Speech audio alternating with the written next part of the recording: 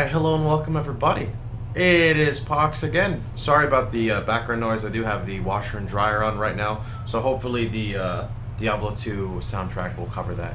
So today I want to go ahead and kind of explain to you guys the reason why um, I always start off with jewels on my Righteous Fire character.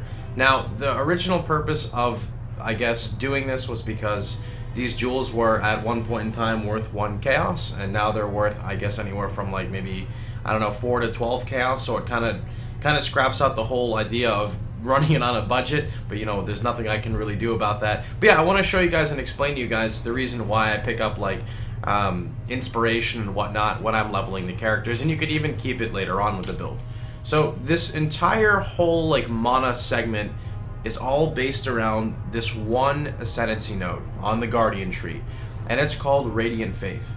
Radiant Faith states you grant maximum energy shield, which is basically like a discipline aura, equal to 15% of your reserved mana to you and nearby allies. And this will stack with your discipline, uh, and this will not stack with other guardians running it. It'll just work like any other aura. Whoever has the highest one uh, will take the priority. Now, if you want to see 100% exactly how this thing scales, you're going to have to go look it up because I've never really played a pure Mana Guardian, so I don't know if it scales better off of percent mana or percent aura effectiveness or I, I, don't know any of that shit. You're gonna have to go look that up specifically. But we're not we're not doing that with this character. This character is kind of a little different because we essentially need aura effect to scale our purities, so it's just inherently there, right?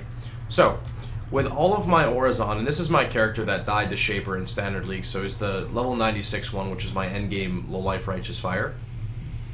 I think he sits at, what, 15k ES? That's not right. Why am I 15k Kappa?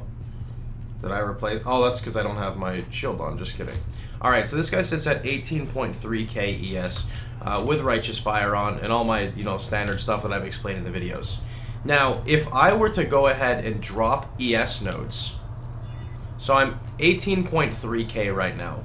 Let's drop four ES nodes. That puts me at 17.6. So 7, 18.3k to 17.6. Okay, so I lost about, what, 400 ES, respecking four energy shield nodes and going into four mana nodes. Now, this doesn't do anything for me except give me bonus energy shield, right? That's essentially all it does. Now, what I could do is I could run a higher level clarity, which will actually make me reserve more mana, which will end up maybe giving me like an extra 50, um, but it won't fully make that up. So anyway, some other things that we can do is I was talking about using Healthy Minds. The reason why you can use Healthy Minds is because when you're looking for jewels with like damage, max ES, um, you know, a secondary or a third damage mod, a resistance, they can get pricey. They can go anywhere from probably like 10 chaos upwards of 50, 100 chaos. Whereas a healthy mind is a simple solution for 1C. So check my ES right now. 18.2 goes to 18.3. Now, I don't actually gain damage by doing this because um, I'm losing life and gaining ES, which is like the same damage ratio, but I'm also losing the uh, properties associated on this jewel, right? So I'd be losing the 8% increased damage and the resistance. But this is just to show an example of how it works, right?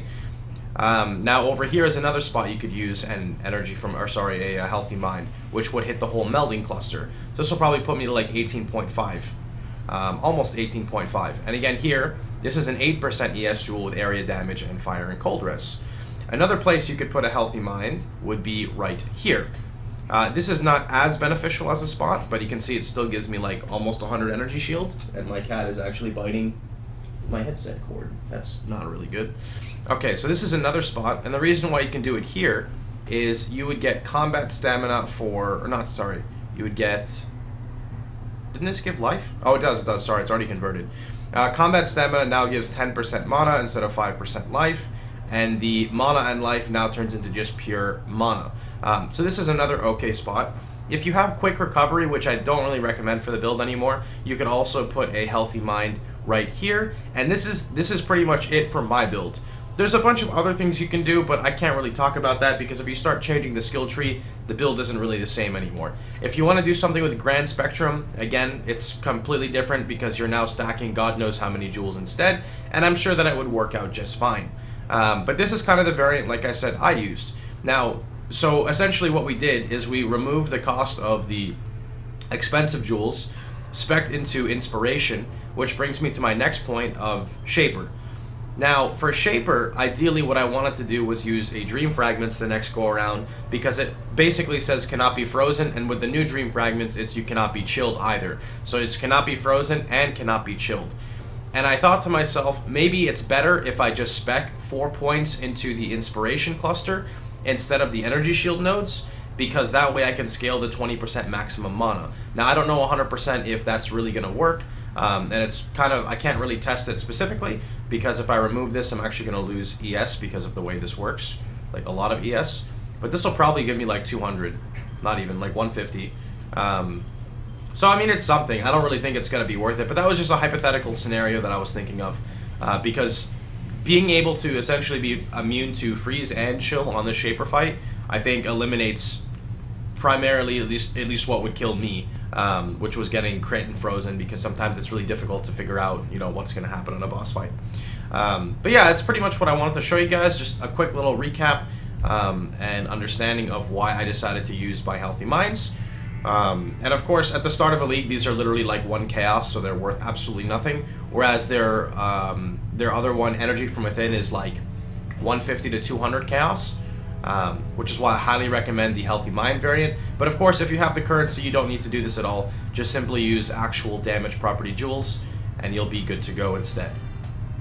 But anyway, I hope you guys enjoyed the video. If you did, please feel free to like, share, and subscribe. And remember, you can catch me streaming live every day at twitch.tv slash Pohx. Hope you guys have a wonderful time, and I'll see you guys all tomorrow. Take care, everybody.